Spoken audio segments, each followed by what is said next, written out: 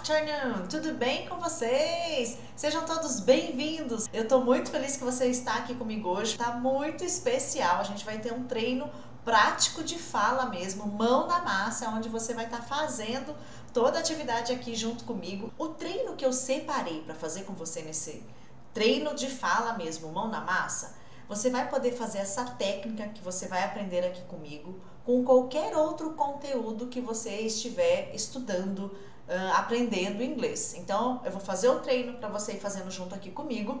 Eu vou já te ensinar um conteúdo, então a gente já vai treinar fazendo. A gente vai aprender fazendo, aprender na prática. Lembra lá do hashtag aprendiz ativo? Então, tudo que a gente está fazendo é bem focado no aprendiz ativo, onde eu participo do processo, onde eu faço, teacher. Eu abro a boca para fazer. E principalmente no inglês, que as pessoas ficam com tanto medo de falar, de errar. Ai, mas a minha pronúncia. Ai, mas teacher, como é que eu vou saber se vai estar tá certo? Então é um treino muito importante se você quer falar inglês. Eu tenho falado isso desde segunda-feira.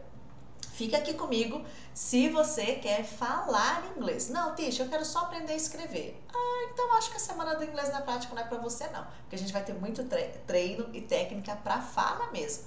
Quero falar inglês. Então, a gente já está começando no aquecimento, praticar muita coisa. O que, que a gente está fazendo? O que, que a gente vai fazer hoje? Aprender na prática. Muitas vezes você já ouviu alguém falando isso para você. Eu já ouço muito os alunos, os seguidores, o pessoal que acompanha o meu trabalho falar, teacher, uh, o bom é aprender na, na prática, né? É, o bom é aprender na prática. Tá, só que como fazer isso? Como que eu aprendo na prática? Como é que isso é na prática mesmo, né? Na teoria faz sentido, né? Ah, tem que aprender na prática, tá? E cadê? Como é que eu vou fazer essa tal prática? Então é isso que a gente vai aprender aqui hoje. Ó, vou começar já passando um conteúdo para você. Guys, toda vez que você faz perguntas em inglês, toda vez que você quer fazer uma pergunta em inglês, e essas perguntas são perguntas diretas, vou explicar para você o que, que é isso você vai precisar dessa galera aqui. Então já vou começar ensinando para você um conteúdo super usado no presente, no passado e no futuro, porque a gente já vai aprender na prática mesmo, na hora de fazer perguntas. Então, sempre quando você vai fazer uma pergunta desse tipo aqui que a gente vai ver no inglês, você vai precisar de algum desses vocabulários aqui: ou do, ou did, ou will. Quem são eles? Eu uso para fazer perguntas diretas. O que, que é uma pergunta direta? Vou te explicar, tá bom? Pergunta direta é quando você tem a pessoa na sua pergunta e já o verbo. Por exemplo, você fala inglês? Essa pergunta é bem clássica, né? O pessoal decora ela, né? Você estuda aqui? Você conhece a Teacher G? Né? Então, essa pergunta direta. Eu tenho a pessoa e já coloco direto ali o verbo. Sempre quando eu faço esse tipo de pergunta em inglês, eu vou precisar de did ou will. Quando eu vou saber é, que eu vou usar um, quando eu vou saber que eu vou usar outro? Vai depender do tempo da sua pergunta. Então, por exemplo, o do eu vou usar sempre quando eu estou fazendo uma pergunta direta no presente. Perguntas no presente. Você fala inglês? Olha essa pergunta. Tá no presente, ó. Você fala. O did eu vou usar no passado, fazer perguntas no passado. Você estudou ontem? Foi lá no passado agora. Pergunta direta. Eu tenho você e o estudar. Vou detalhar um pouco mais para você sobre isso. E o will eu vou usar quando eu faço perguntas diretas lá no futuro. Você viajará? Você irá? Você fará? Você aprenderá inglês? Perguntas no futuro. Então, resumindo, de eu vou usar para fazer perguntas no presente Did eu vou usar para fazer perguntas no passado e will eu vou usar para fazer perguntas no futuro. Tudo bem? Vamos entender o que, que é essa pergunta direta, então, ali que eu comentei no começo da live.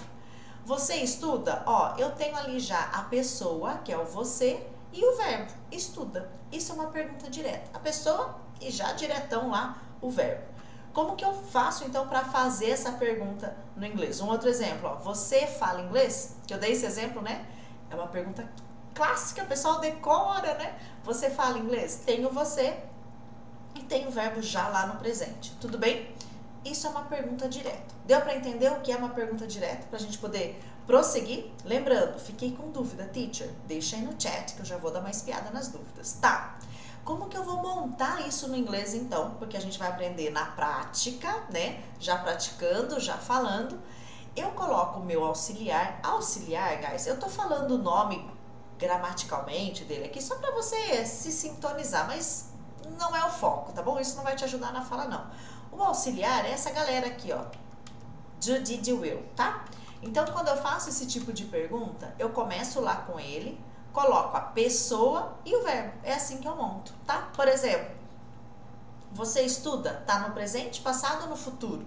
Ó, estudar, presente. Então, como é que a gente fica, né? Como é que a gente vai fazer para passar essa pergunta para o inglês? Como é que fica essa pergunta no inglês se eu tivesse que perguntar, você estuda? Você estuda inglês? Tá no presente, eu vou usar quem? Do, did ou will? Vou lá no do, não tá no presente? Estuda, presente. Tudo bem até aqui? Vamos lá então?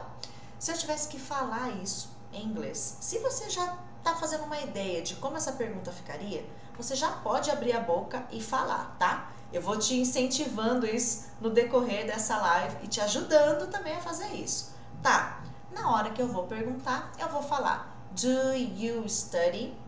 Essa é a pergunta. Eu coloquei lá o do porque está no presente. Lembra lá? O you, que é a pessoa, e o study, que é o verbo. Isso é uma pergunta direta. Do you study? Tá.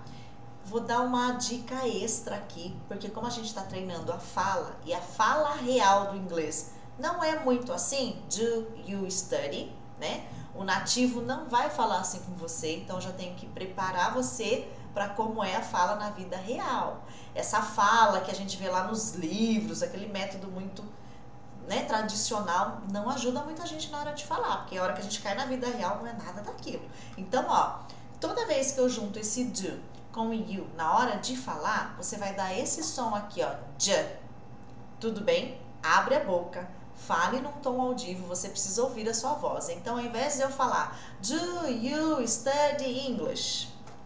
J. O do com you, j. Do study? Do study? Já vai treinando assim. Não precisa sair dessa forma agora, mas já vai identificando que tem uma junção aí de som. Isso vai te ajudar na hora de ouvir, na hora de entender. E aí a gente já vai começar a praticar esse som também na hora que a gente praticar as atividades. Muito bem. Então eu já entendi que para fazer uma pergunta direta no inglês, que tem lá a pessoa e o verbo, eu vou precisar usar do, se for no presente, did, se for lá no passado, e will, se for lá no futuro. Tá, muito bem. Vamos para uma outra pergunta, um outro exemplo? Ó, você estuda inglês? A gente já viu que estudar é study. Inglês é English. Eu quero que você fale essa pergunta agora. Como você diria? Como você perguntaria isso para alguém em inglês? Você estuda inglês?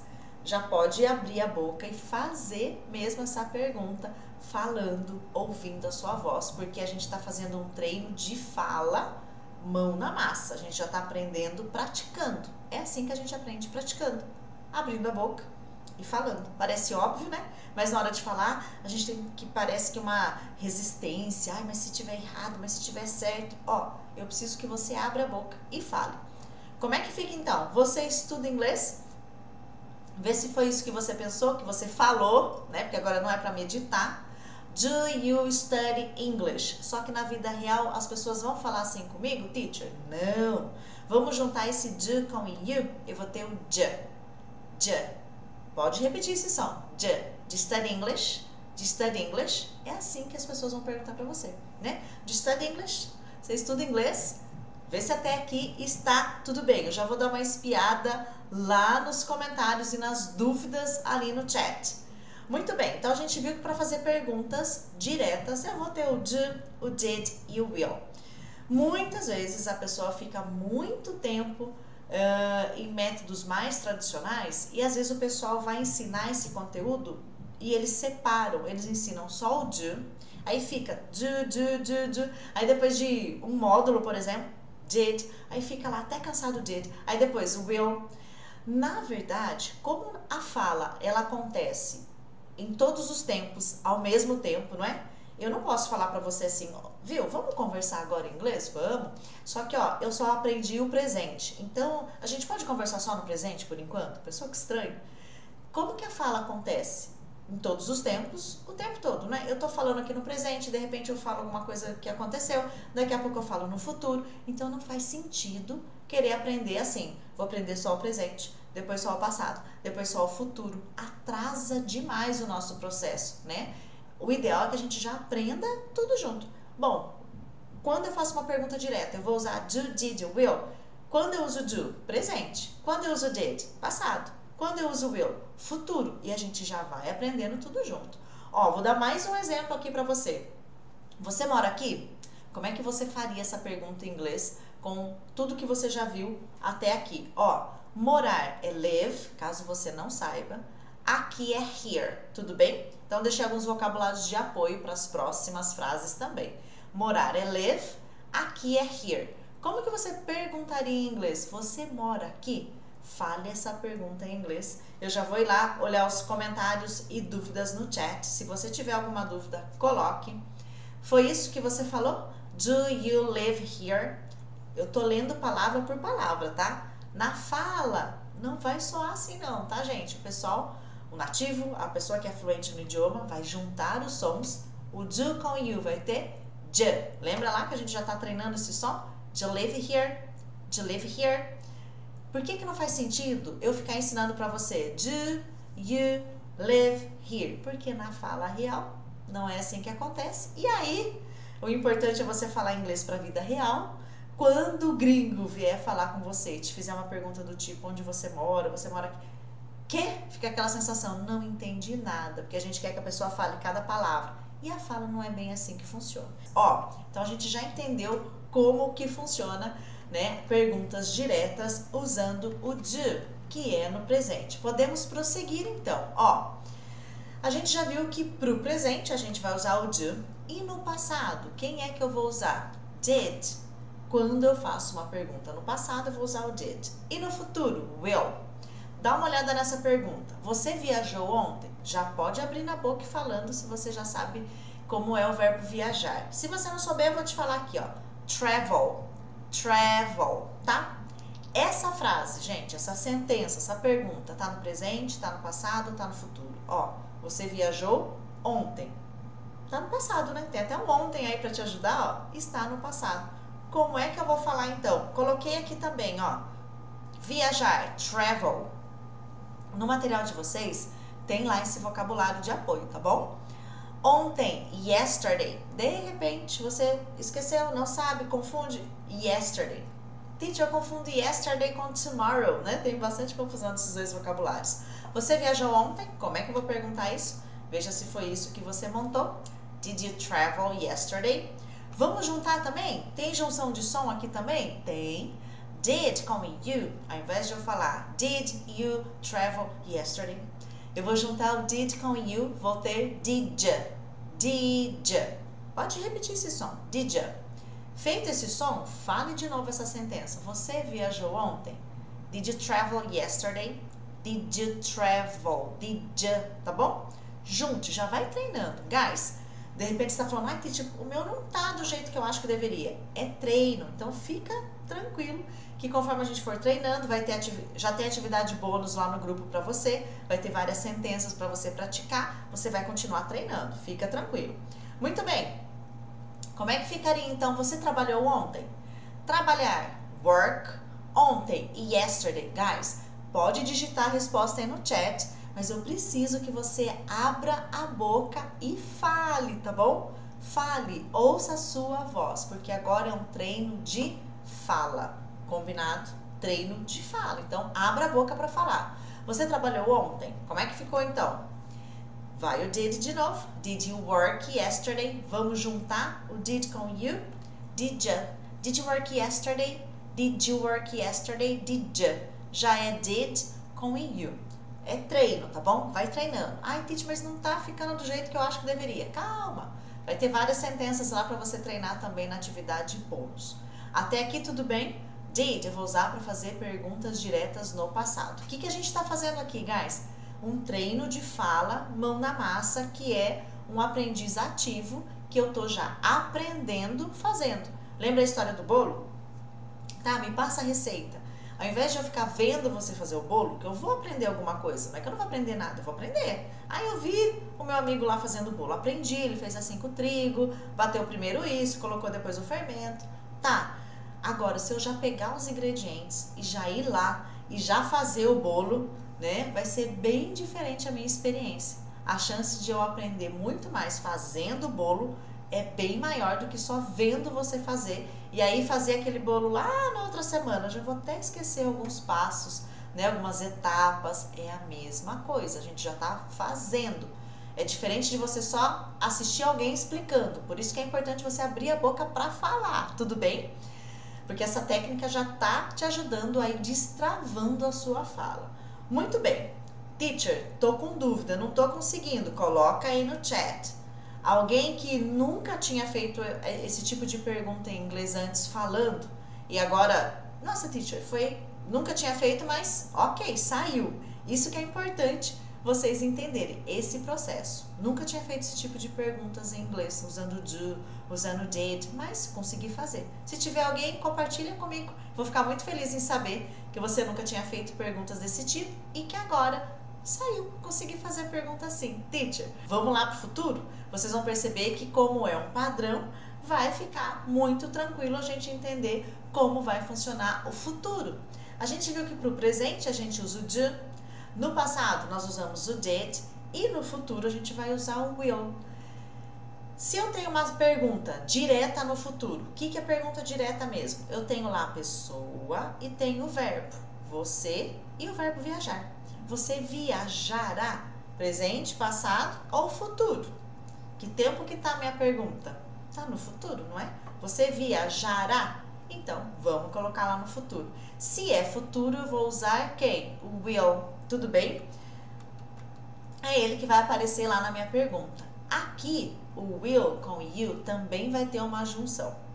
Viajar, eu já coloquei aqui no apoio para vocês. Travel, amanhã. Já tem aqui também tomorrow, tá? Se foi isso que você falou, ó, will you travel tomorrow? Vamos juntar agora esses sons, porque na fala real é isso que acontece. Will com you. Quando a gente juntar essas duas palavras, esse L vai ter som de L mesmo, sabe? Esse som de li, will é isso, will you. Então junta tudo agora, ó. Will you travel tomorrow? Will you, esse som de li. Will you travel tomorrow? É esse som que nós vamos ter na hora que a gente for juntar essas duas palavras, will com you. Tudo bem até aqui? Will you travel tomorrow? É isso. Ó, a gente já viu do, did e will em menos de meia hora de live, né? Por isso que eu falei que não faz sentido algum a gente separar esse conteúdo, aprender só o do, depois aprender só o did, depois aprender só o will. Porque na fala, a gente fala todos os tempos ao mesmo tempo. Então não faz sentido a gente separar presente, passado e futuro. Não, a gente já aprende tudo, porque é assim que vai funcionar na fala. Ó, então no futuro, coloco lá o will, juntei com you, will you. Will you travel? Will you travel tomorrow? Tudo bem até aqui, guys? Vamos para um outro exemplo? Se eu tivesse que perguntar o seguinte: você irá para casa? Ó, presente, passado ou futuro? Você irá. É só a gente identificar, né? Irá tá no futuro. Já tem aqui o apoio para você. Ir para casa, go home. Tudo bem? Ir para casa, go home. Não faz sentido, guys, você tentar falar algo em inglês sem base nenhuma. Eu não sei como fazer perguntas no futuro, eu não sei. E aí tentar adivinhar, porque tem alguns alguns métodos, né, que ensinam um pouco nessa linha de é, tentar adivinhar. Não, mas chuta, arrisca. Você precisa ter uma base para você poder abrir a boca e falar, senão não faz sentido, né? Então aqui, ó, por isso que tem vocabulários de apoio para você. Go home, ir para casa. Você irá para casa? Você irá? Como fica isso no inglês? Já abre a boca o pessoal que está acompanhando aqui a aula live e já fala. Já pode juntar o som. Will com you, will will you, will you. Como é que ficou então? Will you go home? Will you go home? Então já vai abrindo a boca e falando. Will you go home? É isso, guys. perguntas diretas no futuro. Vamos dar uma recapitulada então? Ó, você tem esse material lá na atividade bônus que eu mandei lá no grupo, tá? A atividade bônus está com uma senha que eu vou falar aqui para vocês, para vocês poderem baixar, para não ficar aberto. Senão, a hora que eu subo lá no blog, qualquer pessoa pode ter acesso e aí ela não está nem entendendo o que está acontecendo. Essa não é a intenção, é liberar o material para quem está atividade, né? Para quem está comprometido. Vocês vão ouvir muito essa palavra de mim, comprometimento. O que, que, é estar comprometido? Fazer o que eu tenho que fazer. Vou baixar a atividade porque eu vou fazer essa atividade, né? Isso é estar comprometido em querer falar inglês. Então vamos recapitular. Isso aqui tá lá na sua atividade também. Do eu vou usar para fazer perguntas diretas. O did também e o will também. Do, did e will. Eles são chamados no inglês de verbos auxiliares ou auxiliares. Mas ó, nem fica preocupado com esse nome. Eu só tô te falando, porque se uma hora você ouvir isso em algum lugar, ah, verbo auxiliar de. Ah, a teacher falou sobre isso na live 3, então só para você identificar, tá? Porque essa nomenclatura toda, gente, gramatical, não te ajuda na hora de falar inglês. Então não fica preocupado com isso aí não, tá? Do, did, will. Eu uso para fazer perguntas diretas. Os três, a gente já viu isso nessa live de hoje. O que, que muda, teacher, de um para o outro? O tempo. O do vou usar quando? Quando está, quando a minha pergunta, né, está no presente. Você trabalha? Você estuda? O que você faz? Onde você mora? Você estuda inglês? Você conhece a Teacher G? Você assiste a, as lives da Teacher G? do, perguntas no presente. O did, vou usar lá no passado. Você assistiu a live ontem? Ó uma pergunta direta no passado. Tenho você e o verbo já lá na pergunta, é uma pergunta direta, tudo bem? E o will eu vou usar para fazer perguntas no futuro. Você assistirá a live amanhã? Sim! Você fará a atividade? Você irá? Você falará inglês? Então, perguntas no futuro, perguntas diretas. A gente viu que quando a gente usa o you, o do, did, will, eu uso sempre para you e plural, tá bom? E quando a gente usa com you, a gente tem uma junção, um fenômeno no som, né? Então, do com you virou j, j. Did com you, did j, did j. E will com you, willy you. Esse som de li, willy you. To work, will you work, will you work tomorrow, né? To work here, você trabalha aqui? Passado. Did you work yesterday? Futuro, will you work tomorrow? Você trabalhará amanhã? É isso que você tem que saber de do, did, will.